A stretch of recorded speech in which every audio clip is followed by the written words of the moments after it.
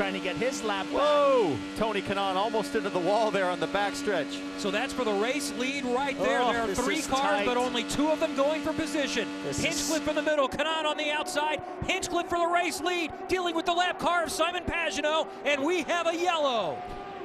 Oh, Aleshin. And Hawksworth, Aleshin was back on the lead lap, and we wanted to see him try to make his way through, but he won't get the chance. And Max Chilton also has had to come through the grass. Max Chilton's had two spins through the grass, avoiding wrecks and no damage. That's good luck for him, but both of these cars are demolished. Aleshin's rear rear wheel is completely gone. The front wheel completely gone on Hawksworth.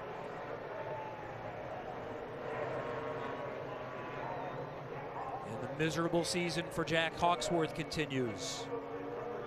Void of results this year. We'll wait and see what happened out of this. And great to see Jack climbing out and also Mikhail Aleshin looking good as he climbs out. Well, here we go. Strategy time. Do you take tires or not tires? We've only got four cars now on the lead lap.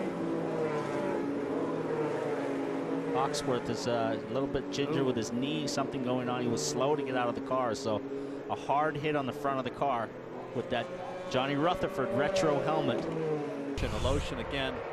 Chance at a top five. You see him further back. Red, white, and blue car on the high side.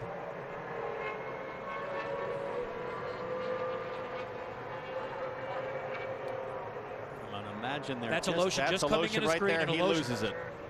Yeah, nowhere for Hawksworth to go. Aleshin lost it, and boom, right into the side and head on into the wall. It was a hard hit. Very similar to the crash that Conor had with uh, with Newgarden. Very similar, but uh, luckily these guys these guys walked away from this one. Hawksworth was just an innocent bystander coming through at the end, and Chilton had to go through the grass to avoid him. Robin? All right, the good news is, is I,